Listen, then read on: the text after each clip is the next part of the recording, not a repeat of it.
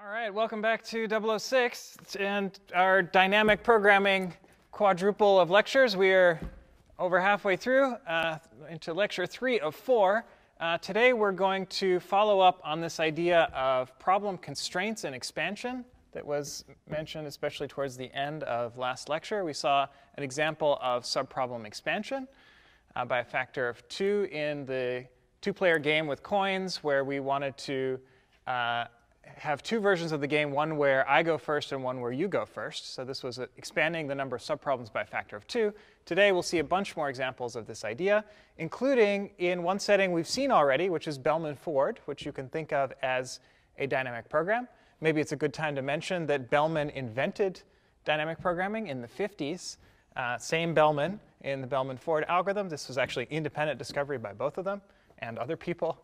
Um, so uh, he invented dynamic programming, and then a few years later, he applied it to solve the single source shortest paths problem. So we saw them in the other order. We saw single source shortest paths first because it's a little easier. And now we're seeing the general framework that this fits into. Um, and so we'll see how, how that works. Uh, why did Bellman call dynamic programming dynamic programming? Mostly because it sounded cool, and he was trying to impress uh, government agencies giving him grants. I mean, how can you argue with something as cool sounding as dynamic programming? Uh, but there is some logic to it. Uh, programming is a reference to an old form of this word, which means optimization. And generally, we're trying to optimize things. And instead of optimizing according to some static kind of approach or program, uh, we're doing it dynamically. This is a reference to the local brute force we're doing to optimize at each stage. So you can't tell at the top what you're going to do in the middle.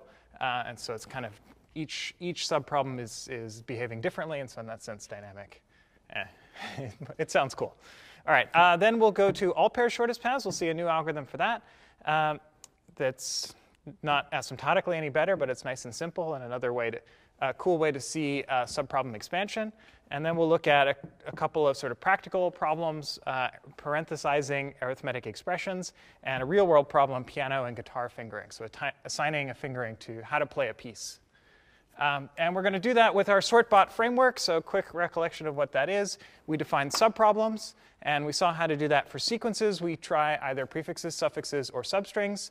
We prefer prefixes and suffixes because there's fewer of them.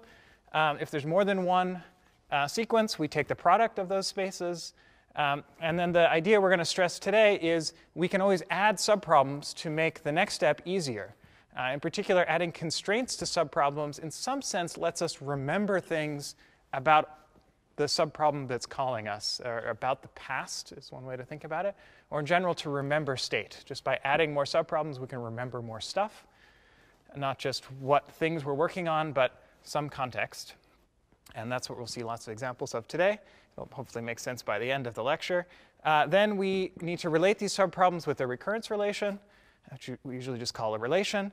And the key idea here is to come up with a question that if you knew the answer to that question, uh, you could reduce uh, the subproblem you're trying to solve to smaller subproblem solutions. So uh, this question is sort of the fundamental aspect of some fundamental aspect of a solution. Typically, when you're dealing with suffixes, you want to ask some question about the first item, s of i. When you're dealing with prefixes, you want to uh, ask a question about some the near the last item, s of i minus 1. And for substrings, who knows, somewhere in the middle. Uh, we'll see an example of that today.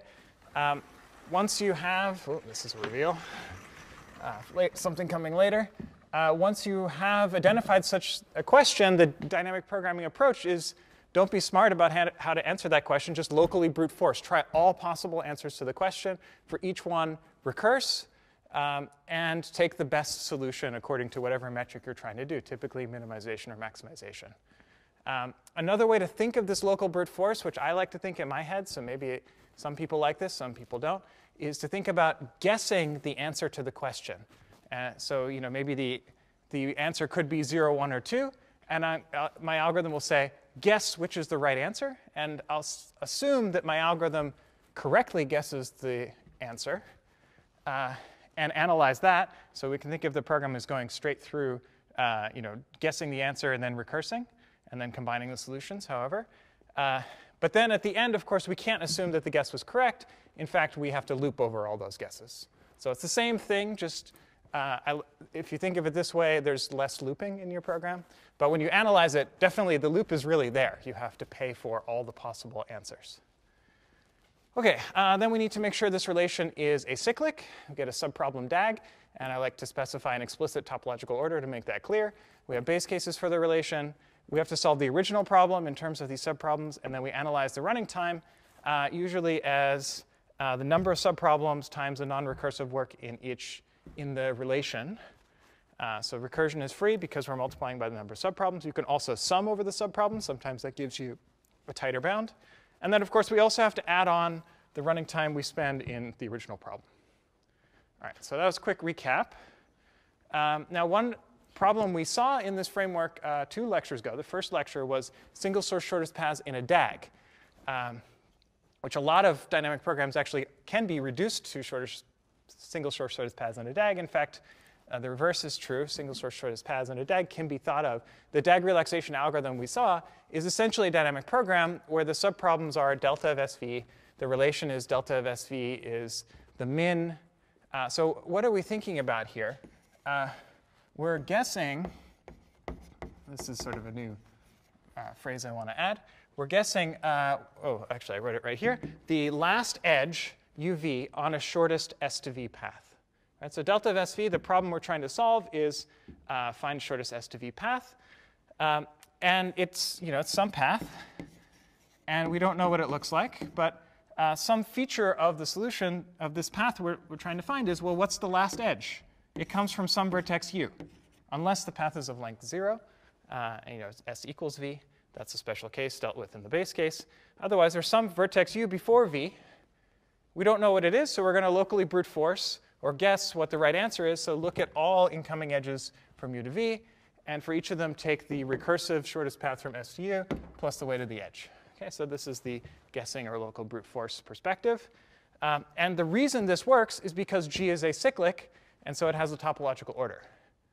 Otherwise, if, graph, if the graph has a cycle, and that's the case we want to go to next, uh, this recursive call from delta of SV to delta of SU uh, will have loops in it. And so you'll never evaluate this recursion. You'll never finish. You'll never memorize. You'll be sad. It'll take infinite time. Right? So don't use this algorithm unless you have a DAG. For DAG, it's great. It's linear time. So that was a little review. Now here is uh, single source shortest paths in general graphs, which we know as Bellman-Ford, but rephrased into the sortbot framework. Okay, so uh, we defined this problem in the Bellman-Ford lecture, delta sub k of SV. Remember, this was the weight of a shortest path from S to V that is restricted to use at most k edges. This made the problem feasible. We ended up taking the product of the graph into many into you know, all these different subproblems, in fact. Uh, but from the perspective of dynamic programming, we think of this as a subproblem constraint. What we really want is the shortest S to V path, but that's hard. So we're going to break it up into smaller pieces for each k between 0 and v. We're going to say, well, let's think about this problem restricted to use at most k edges. And, we, and for simple paths, you know, if there are no negative weight cycles, we only have to go up to v minus 1. Uh, we prove that, and we know we're, then we're happy. Uh, but um, that's, that's sort of the last thing we want to solve. So if we look down at the original problem we want, it's delta sub v minus 1 of sv for all v. So if we could solve these subproblems, as we saw with Bellman-Ford, we can solve the original problem unless there are negative weight cycles, and we use delta sub v of SV to check whether there are negative weight cycles. I don't want to repeat that, but that's the, all in the original problem. And then we can take this relation that we wrote for DAG shortest paths and just port it over here. So remember, this for a general graph, this has cycles, so we can't use it because we're just referring to arbitrary delta of SVs. Uh, so there's no reason for, to expect no cycles there. In fact, the call graph is exactly the graph G, so it has a cycle if and only if G does. Um, but now over here, I'm writing exactly the same formula for this min, but I added a sub k here and a sub k minus 1 here. The observation being if I've already guessed what the last edge uv is for this path, then if this whole thing has length at most k, then this piece has length at most k minus 1. So I only need to do solve delta sub k minus 1 of SV here. And so that's what I wrote, sorry, of SU, what I wrote here. Um, there's one other thing, which is, as I mentioned a little while ago, it could be that we use fewer than k edges. And so uh, let's consider the case where we don't follow a last edge and we just uh, add to this min the uh, shortest path using at most k minus 1 edges. That's one option for having at most k edges. If we wrote equality here, then we would remove that, like the last problem session. OK, good. Uh, so the key observation here is that this recurrence does not have cycles. Just by adding this index, if we solve these problems in order of increasing k, all of the references from delta sub k are in terms of delta sub k minus 1, and so this is now magically acyclic. This is why Bellman-Ford worked.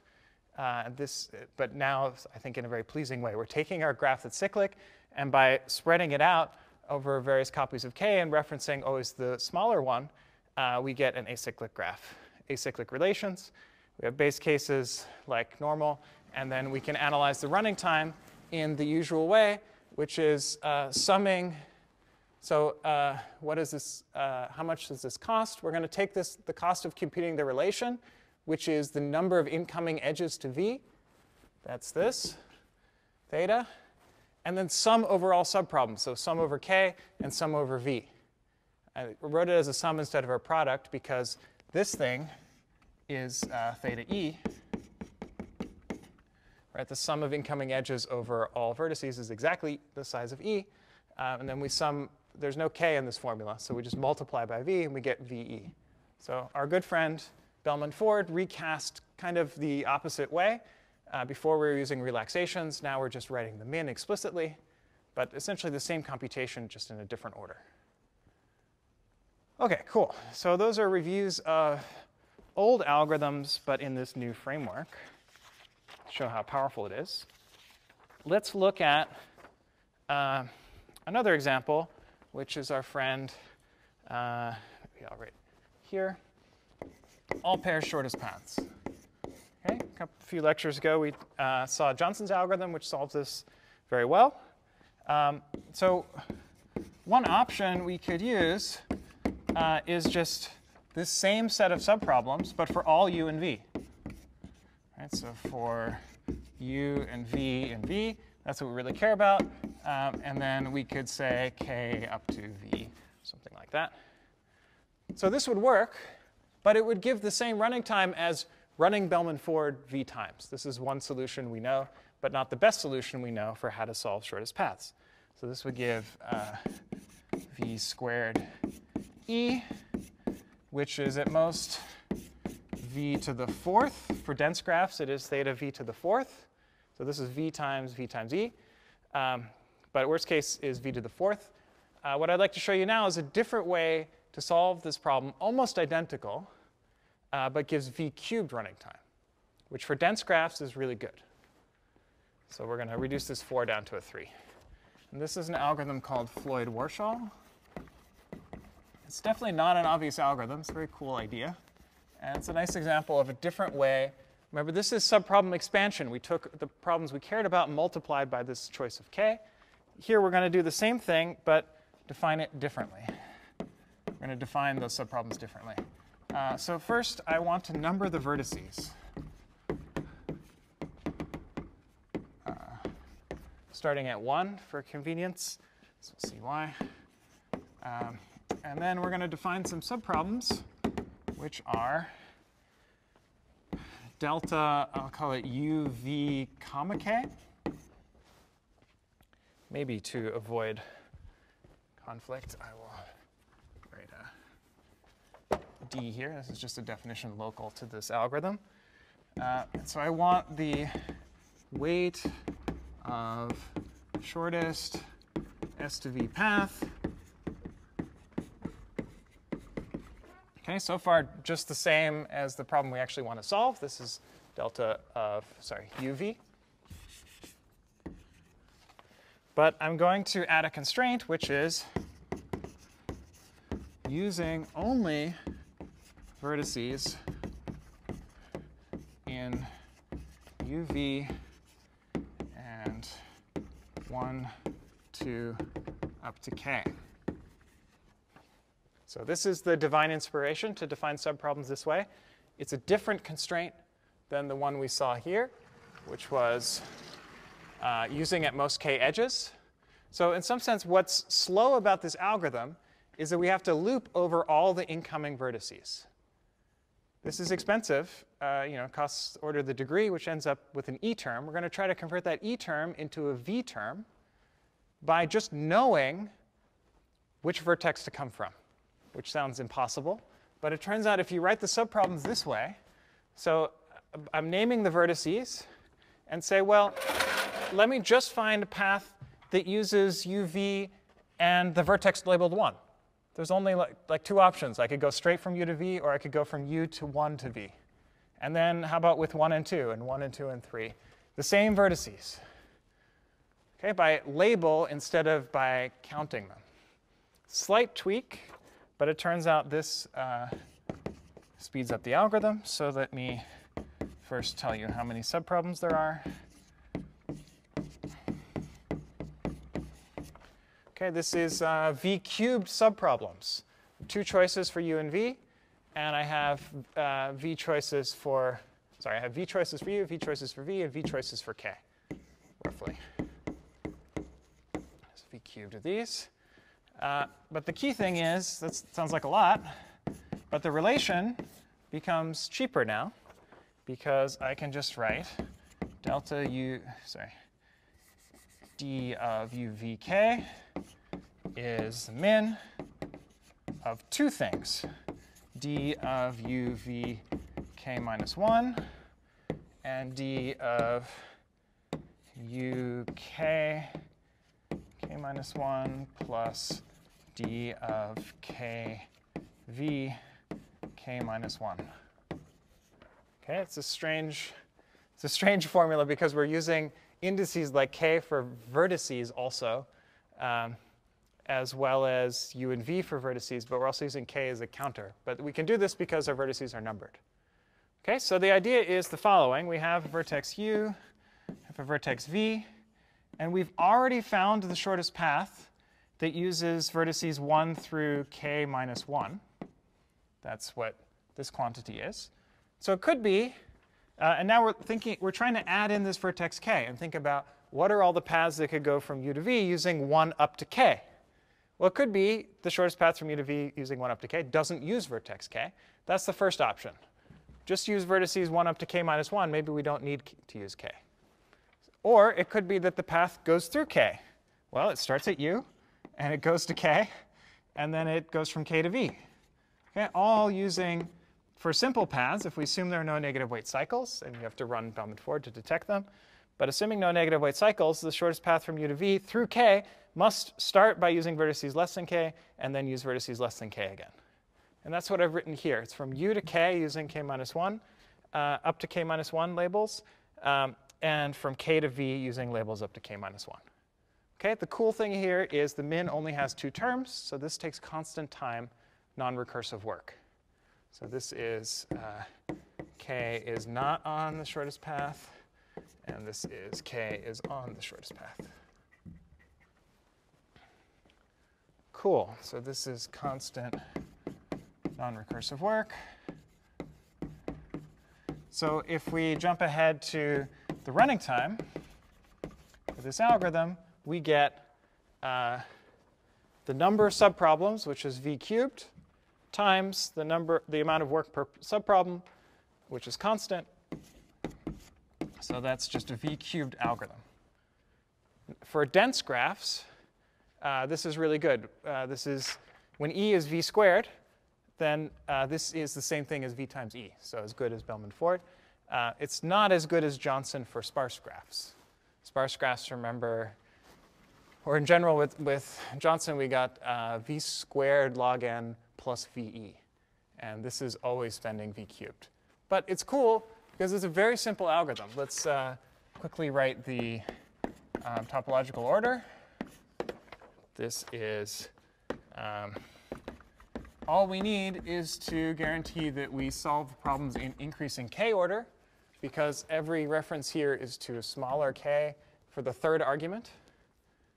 Um, and so, for example, you can just write a triply nested loop, k equals 0, 1 up to v, and um, u and v, and v and v.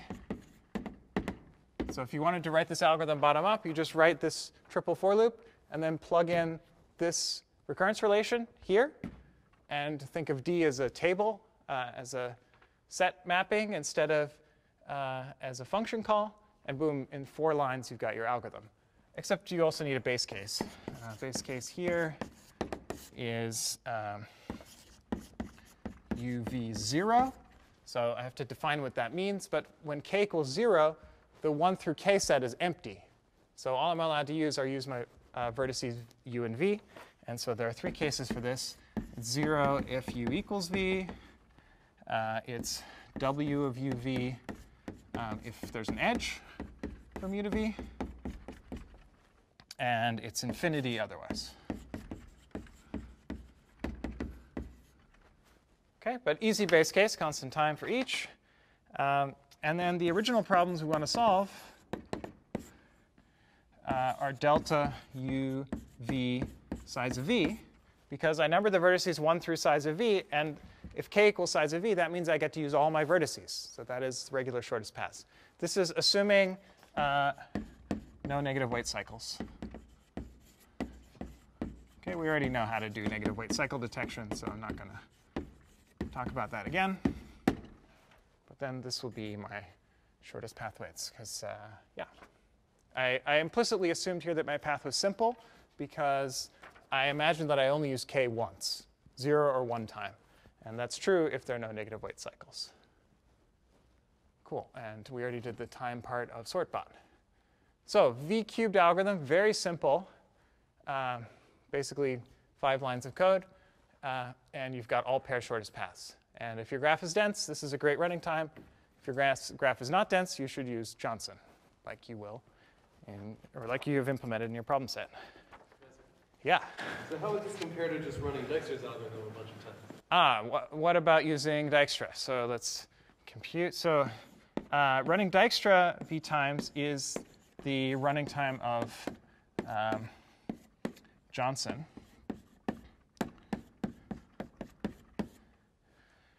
So uh, running Dijkstra a bunch of times is great. If your graph has only non-negative edge weights, then you should just run Dijkstra. Uh, you get this running time.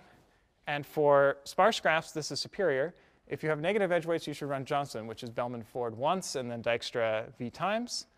Uh, and we're comparing this to uh, v cubed, which we just got.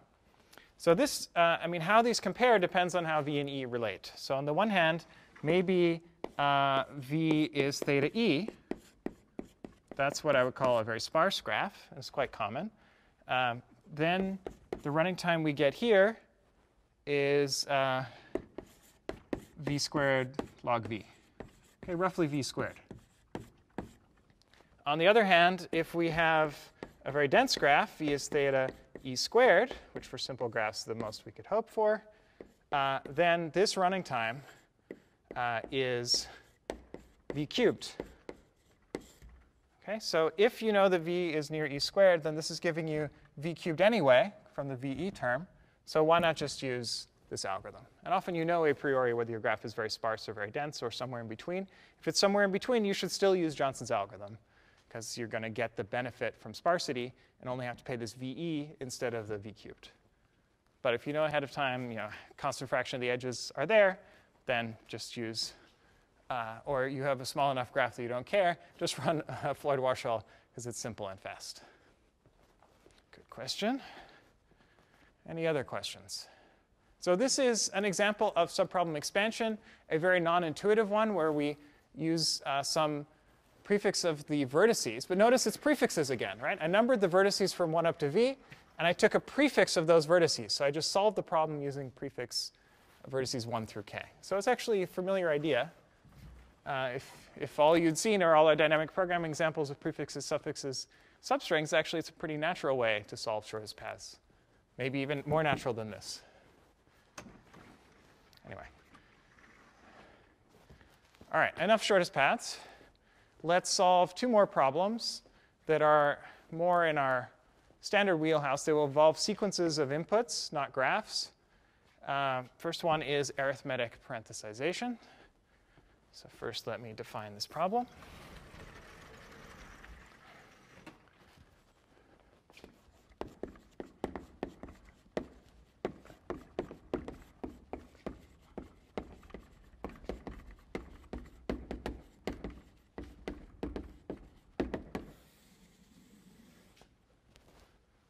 Okay, we are given a formula with, say, plus and times. Let me give you an actual example.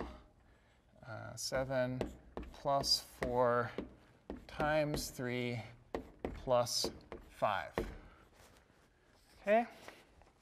Now, uh, when you read this, because you've been well trained, you think, okay, I'm going to multiply 4 and 3 first, because that has a higher precedence, and then I'll add the, the results up. But uh, what I'm going to let you do is parenthesize this expression however you want. For example, you can add parentheses here and here. Okay, you must make a balanced parenthesis expression, a valid way to, to pair up, or not just pair up, but a, a valid way to evaluate this expression. Any ordering you want. Uh, I could be inconsistent. I could, uh, for example, do this sum, and then do this product, and then do this sum. Okay, but some kind of expression tree uh, over this, and each one evaluates to something. So this is 11, and this is 8, and so this is 88. And my goal is to maximize that computation, and I claim that this is the way to maximize that particular example. Okay, so let me write it in general and get my notation to match notes. So given a formula A0 star 1 A1 star 2 A2 and so on up to star n minus 1 A n minus 1 uh, where each ai is an integer, as we like in this class, and uh, each star i is either plus or times. Okay, so I'm using star as a generic operator. It's, it has chose star because it is the superposition of star on, on top of a time symbol. So it's clear. Uh, so you're given some formula, any mixture of plus and times that you like, uh, involving n integers. And your goal is to place parentheses um, to maximize the result. Okay, so you can try all the combinations here. Uh, if I, for example, take the product of 4 times 3, I get 12. For, if I do that first, I get 12. Then if I add 5 and 7, I get 24, which is less than 88. Um, and I check them all, and this one is the maximum for that example. Okay, so interesting problem. Um, sort of, it's a, a, bit of a toy problem, but it's motivated by lots of, of actual problems uh, which I won't go into here. Um, so to apply this framework, you know, we need to identify some subproblems. This is a sequence problem. We're given a sequence of symbols, and so the natural things to try are prefixes, suffixes, and substrings. I'm going to jump ahead and think about the relation first. I want to identify some question about the subproblem uh, or its solution that would let me reduce to smaller subproblems. This is a little trickier. This is very different we're not always doing something on the left or on the right, or we can't assume there's something happening on the left, because maybe we take a product in the middle first. If I take a product in the middle first, then I have some result here, but I still have three things. I have the thing to the left, I have the thing in the middle, and I have the thing on the right. It turns out to be very messy to think about what the first operation is. Because uh, we can think of this as a tree. Um, where we take a product here, we take a sum of 7 and 4, and 3 and 5 over here, and then take the product at the root. Um, but I don't know what the tree is, right? I only know these numbers and these operators, but I don't know how to organize this tree. Uh, and so the idea is if you think of this tree, what is the one thing that's the easiest to identify? It's the root. The root corresponds to the last operation I do in this computation The last thing I did was take a product. And that's a lot easier because uh, if I guess who's at the root, which operator is at the root, that naturally decomposes into the left subtree and the right subtree. And those will always be substrings. We kind of know this. Um, this uh, node corresponds to everything left of this operator. And this sub, uh, substring or this uh, you know, subtree corresponds to everything to the right of the operator. So this is our idea, um, is we're going to guess uh, which operation uh, star i is evaluated last. Or in other words, at the root. So this is a question. It has uh, n possible answers. I guess actually n minus 1 from operator 1 to operator n minus 1. And so uh, we'll just brute force all those choices. Okay, so I, I wanted to start here because uh, to realize that if I choose some star i in the middle, which might be the right thing, like in this example, star i is the, the middle one, middle operator, uh, I naturally decompose into everything to the left of that operator and everything to the right of that operator. This is a prefix. This is a suffix. So you might think, oh, my subproblems are all prefixes and all suffixes. But that would be wrong. Uh, because if you have a bunch of operators, um, and say you choose this one to be last, uh, so I have a prefix here and a suffix here. Um, and then there'll be some, in, within this suffix, I'll choose some operator to be the root of that one and I have a prefix and a suffix of this suffix, but in particular, I will have to evaluate this subproblem, which is a prefix of a suffix, in other words, a substring. So never use a mixture of prefixes and suffixes. If you need both, you probably need all substrings. Uh, so our subproblems.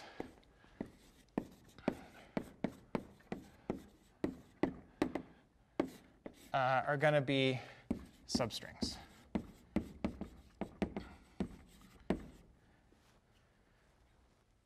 Okay, um, I'm not going to write the subproblems quite yet because there's another idea we need. So what do I need to do with a substring? Uh, so I'm going to guess the middle operator and then evaluate the left substring, evaluate the right substring.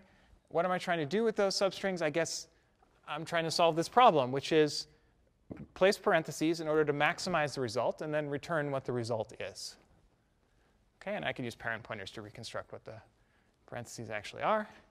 Um, so is it enough, once I guess what the last operator is, is it enough to maximize the part to the right and maximize the part to the left?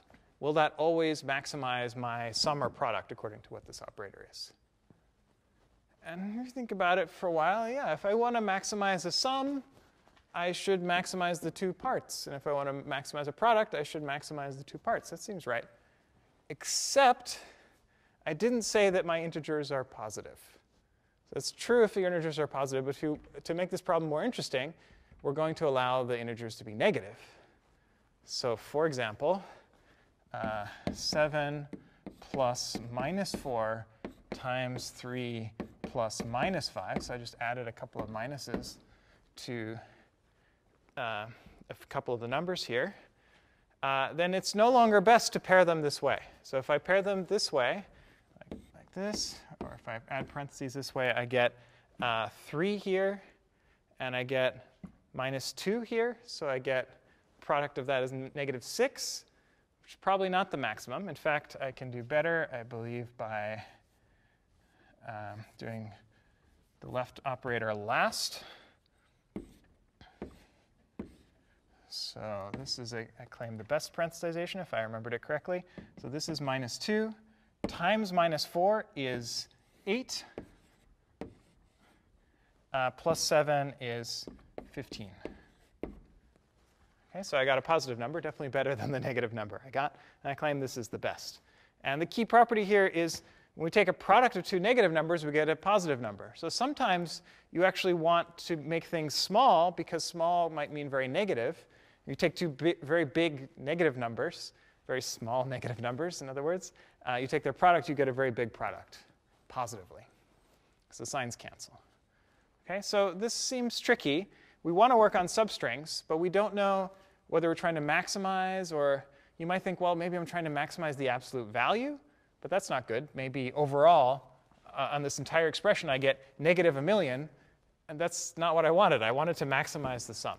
So I, need to st I still need to solve the max uh, evaluation that I can get, the max parenthesization, but I also need to solve the min parenthesization. If I can solve max and min, I'll know the entire kind of range that I could get. And I really only I'll care about min, especially when it lets me go negative. But let's just solve in all cases the min and the max, and then just brute force the rest. That's what I'm going to write down. So that was some motivation on why we are going to define subproblems this way. So I'm going to define x of i comma j comma opt to be, so opt here is going to be either min or max. And this is my subproblem expansion. I really just care about max at the very end, but I'm going to care about min along the way. And ij is going to specify my substring. So this is going to be the opt value. Opt stands for optimum here, or optimization.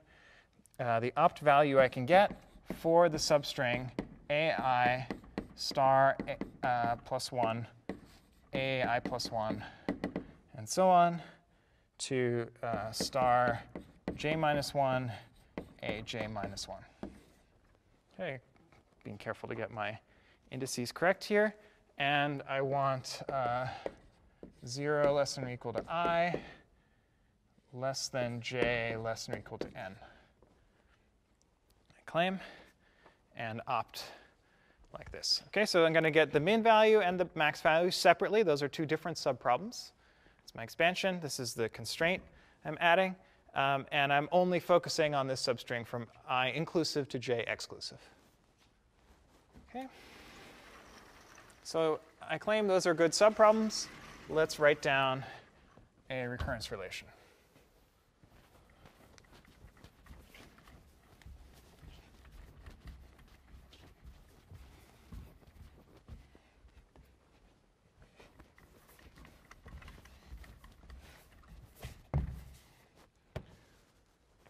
Okay, relate.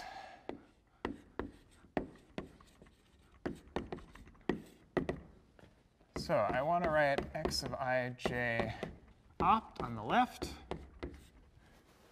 And I want to optimize. So this will be min or max on a set of choices. What is my set of choices? Well, uh, like I said, I want to guess what is the last operation evaluated. I wrote star i here, but star i is already defined, so I'm going to use star k. So I'm going to guess what, which of my operations between i plus 1 and j minus 1 is the last one that I evaluate. And that decomposes into everything left of k. So that would be x of i uh, comma k, comma something.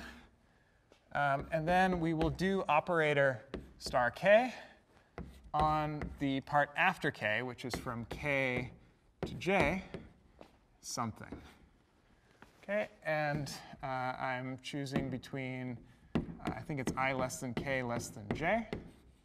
So k is some operator in between because I start at i plus 1 and I end at j minus 1, so those are the possible choices for k. I tried them all. That's my local brute force. And then I take what I can get on the left, what I can get on the right, and multiply or add them according to whether that operator is plus or times. Uh, now, should I maximize or minimize this one? Should I maximize or minimize this one? I don't know. So I'm just going to do more local brute force. Um, I'll say, well, let's just say opt prime for the left, or maybe I'll call it opt L for left, and opt R for the right part. And I'll just add this to my for loop. Let's just try uh, opt L and opt R, just take all possible choices among min and max. You know, you could think hard, and for addition, for example, if you're maximizing, you really only need to maximize the two parts, and if you're minimizing, you, you can prove you only need to minimize the two parts. but let's, for multiplication, it's messy, and it could be really any of the options. Because uh, sometimes uh, when you minimize, you get a negative term. Sometimes when you, uh, sometimes you don't. And so you know, it depends what you're trying to do. You have to consider all the signs, but we don't need to think hard. We can just try all options. There's only four choices for opt-L and opt-R among min and max. You could do min-min, min-max, max-min, and max-max. So try, it's just a multiplication by four in this for loop. The big cost is actually this one, because there are you know, j minus i choices for k. There's a constant number of choices for opt-L and opt-R.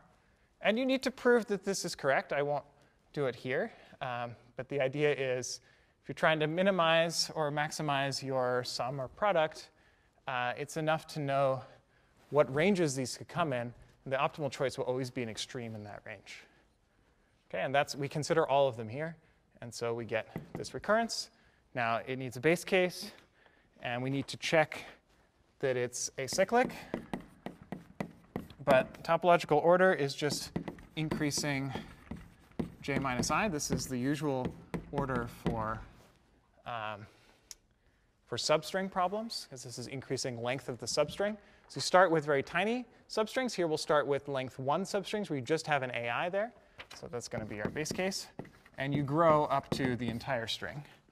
And it doesn't matter how we order relative to opt as long as we are increasing in j minus i, because i to k and k to j will always be strictly smaller than i to j, and so this will be acyclic.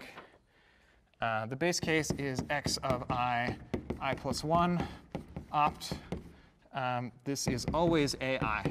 Doesn't matter what opt is, because there's nothing, there's no choice. You just have a single number in that substring, because we're exclusive on i plus 1.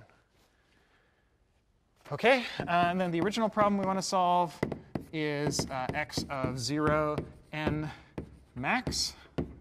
could also solve min and see how small you can get it. So if you wanted to maximize the absolute value, you could solve the max problem and the min problem and take the largest of those two options. Uh, and how much time does this take? Well, how many subproblems are there? For substring problems, we have n squared subproblems. Now we multiply the number of subproblems by 2, but that's still n squared. Okay, so we have n squared subproblems. And how much work per subproblem are we doing? Well, uh, as I mentioned, we're, we're doing j minus i choices for k, a constant number of choices for opt-L and opt-R. So this is theta j minus i, which, if I'll be sloppy, that's at most big O of n. Uh, and it turns out to be the right answer anyway. So uh, there's linear amount of non-recursive work. In fact, it's like a triangular number, but uh, that's still theta uh, n cubed. Okay, same running time as uh, uh, v cubed we just got, but polynomial time. And this is pretty impressive because we're really brute forcing all possible parenthesizations. There are about 4 to the n, exponentially many uh, parenthesizations of an expression. But we're finding the biggest, the one that evaluates to the largest value and the one that evaluates to the smallest value in just n cubed time, polynomial. And a key here was subproblem expansion, where we, in addition to solving the max problem, we also solve the min problem, because sometimes you want to take two uh, very small negative numbers and product them together to get a larger positive number. Cool. Question? Would anything go wrong if I added minus and divide? so what if I had operators minus and divide? Uh, it's a good question. I'm, I'm certain that minus should work fine.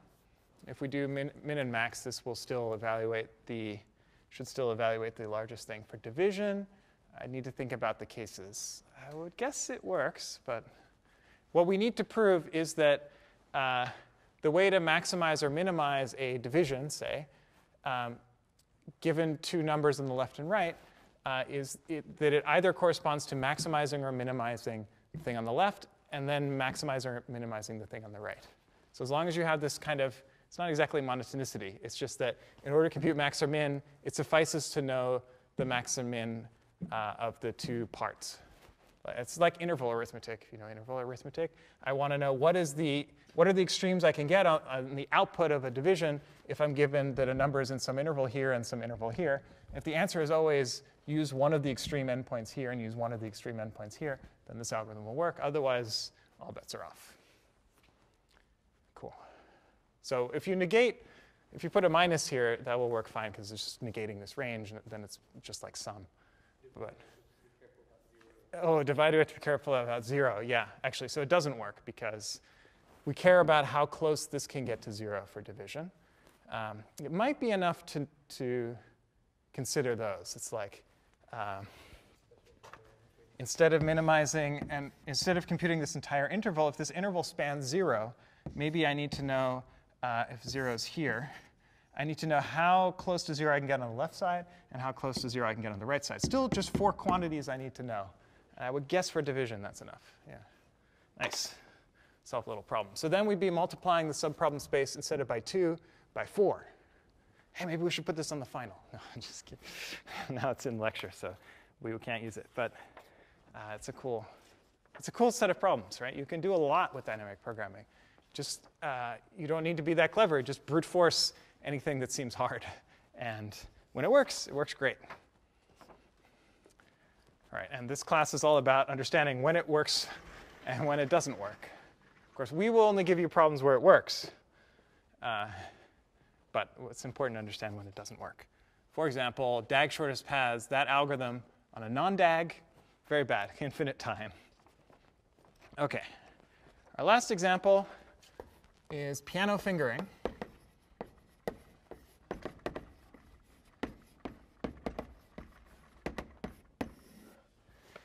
Um, so here, we're given a sequence of notes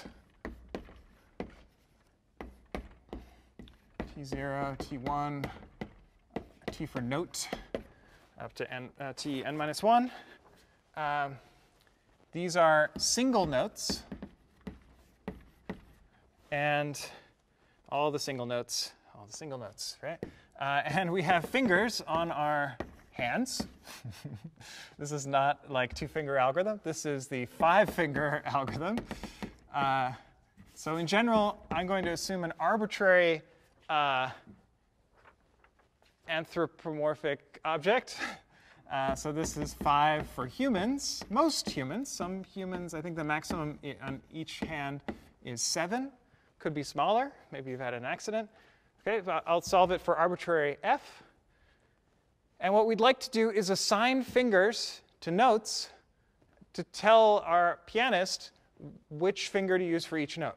So normally when you're given sheet music, it just gives you a sequence of notes you want to play. It doesn't tell you which finger you want to play it with, unless you have some nice uh, training uh, booklets and they have a little number on top of each. And they number them 1, 2, 3, 4, 5, and symmetrically 1, 2, 3, 4, 5. Um, and so here's a giant piano for my giant hands. Um, so uh, uh, if Jason were here, he could sing these notes. So uh, maybe I play this with my first finger, this with my second finger. Let's just say I'm doing a scale. So I can walk, and now I think typical way to do a scale is to reach over with your first uh, finger, second finger, I guess, and then do something like this. No? okay. Clearly, I don't know scales um, or how to play a piano. But you know, there's there's limits here. I can, if I'm going from this note and I want to go to another note uh, over here. Okay, maybe I have a decent span from first finger to fifth finger. But my span from my first finger to my second finger is not as big. I can't reach as far. So if I want to play this note and then this note, I'd like to start here with a very extreme finger on the left and then go to a very extreme finger on the right. So I'm going to formalize this problem pretty abstractly because I don't want to get into music performance. I'm going to say that there is a metric D for if I'm at note T with finger F and I want to go to note T prime with finger F prime, uh, then this function, d of t f t prime f prime, gives me the difficulty of doing that.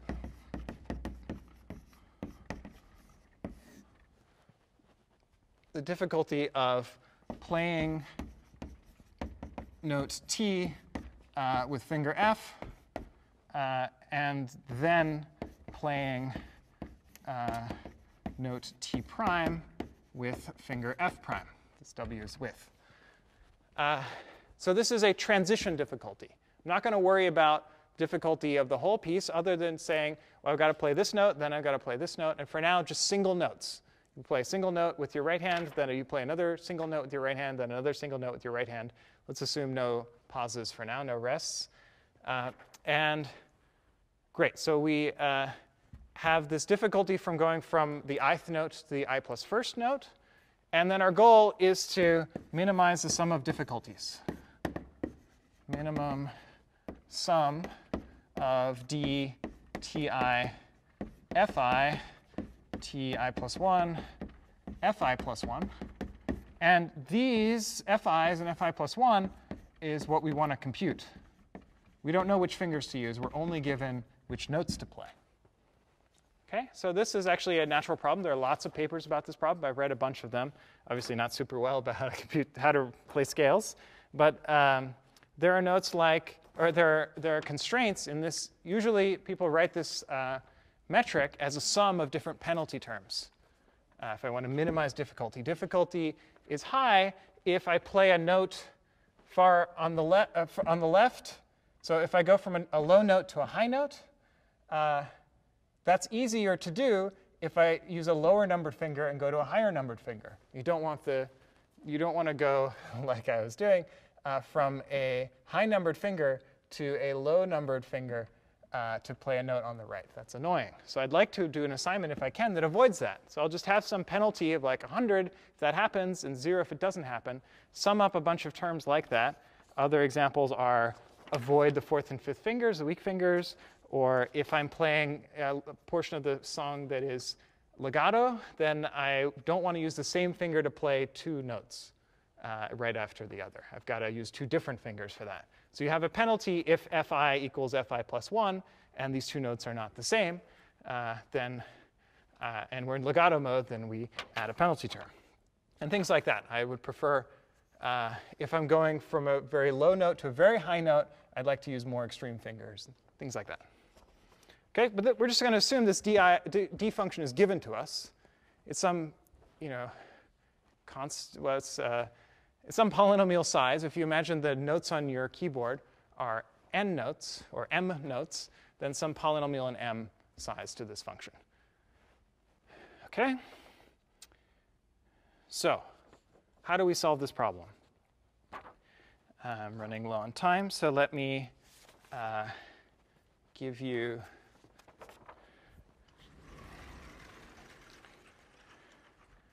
the idea.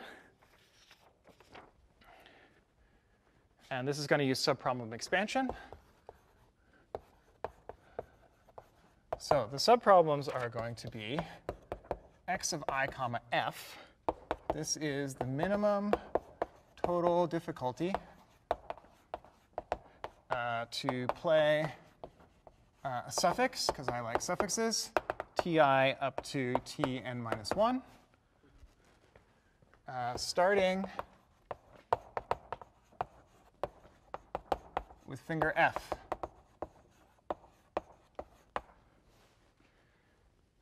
Uh, on note TI.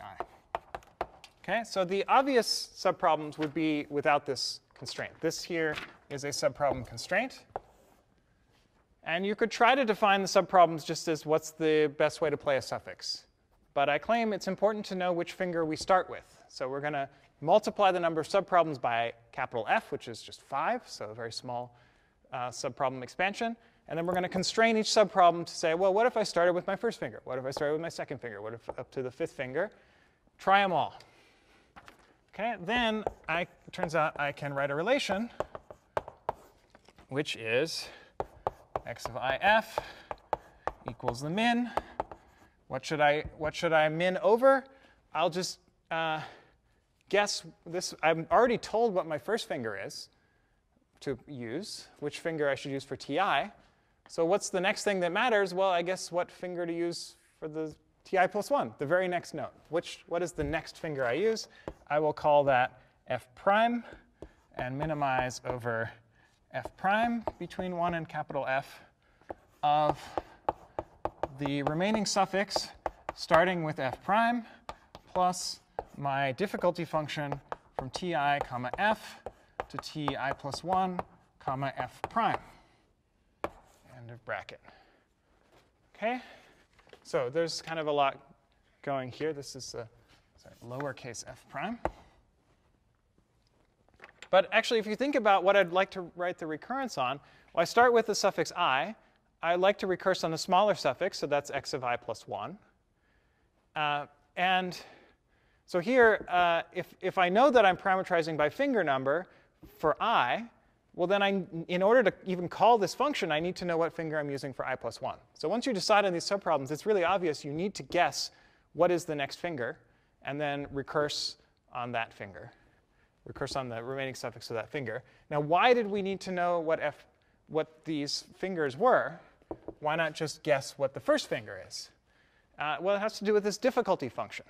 For this difficulty function, I know that I want to measure the difficulty from ti to ti plus 1. And to do that, because this function is parameterized by four things, I need to know both the finger for ti and the, at the same time the finger for ti plus 1. If I remove this f, I could you know, add a min over one finger, but I can't really add a min, min over two fingers. So what this does by parameterizing by f here and writing down the optimal for each starting finger f, I can, in some sense, I'm remembering in this call what finger I started with. Because I told it you have to start with finger f prime. And so locally to xif, um, I know what finger f prime is being used for ti plus 1, and also, because of the definition of xif, I know what finger I'm using for ti. And so I get to know both of these fingers. One comes out of this min, and the other is given to me as this parameter. And then, of course, if I can solve these problems, I can solve the original problem uh, by just one more min of 1 up, 1 up to capital F of x 0 little f Right? I don't know which finger to start with, but that's just F choices. And so then this recurrence gives me the overall solution in, I'll just jump to the time. You need a base case and uh, topological order, but it is n f squared time. There are n times f subproblems here. And for each one, I'm doing an optimization over f choices. And so I get n times f squared. It's a polynomial, and if f is a constant, this is actually linear time, very fast dp. Now, what I described here is for one hand, one note at a time, but you can generalize this to two hands, each with one note. Well, that's just 10 fingers, so uh, you could solve this separately for the right hand and left hand if you know which notes are being played with left hand and right hand, but some pieces that's not obvious. Uh, so to make it more interesting, what if you have multiple notes at the same time? And let's say I think it's reasonable to say you can only play up to F notes at a time, one for each finger. Um, and so we have an upper bound on the number of notes at a time that we're playing, which is good. Oh, I have a, a drawing of this DP, by the way, uh, as a subproblem DAG. So uh, this is the original problem, which is we don't know which finger to start with.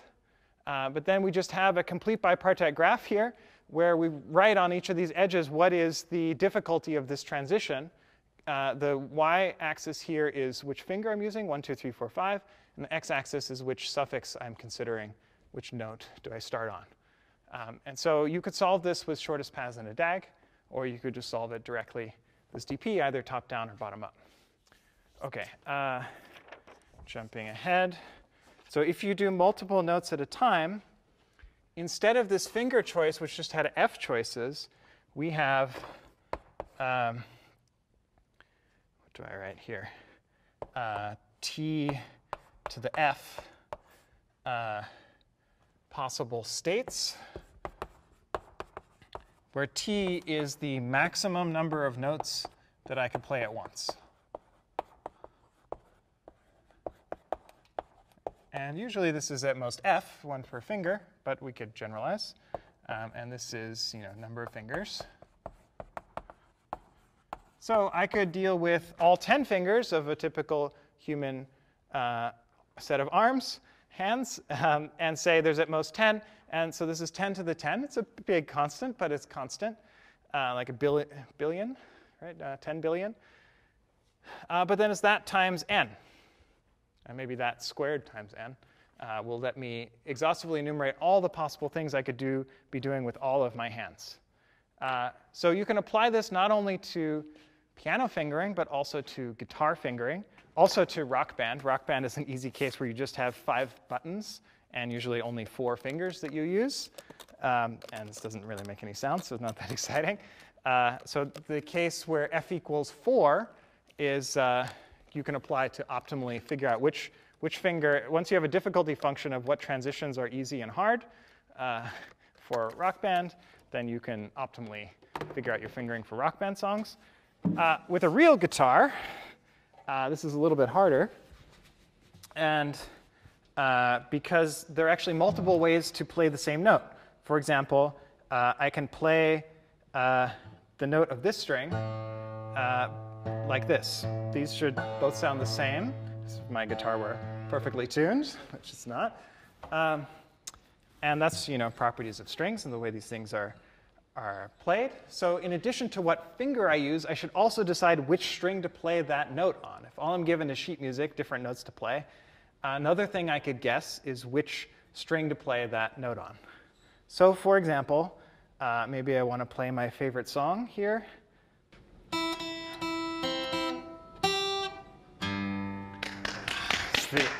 Super Mario Brothers, my favorite song.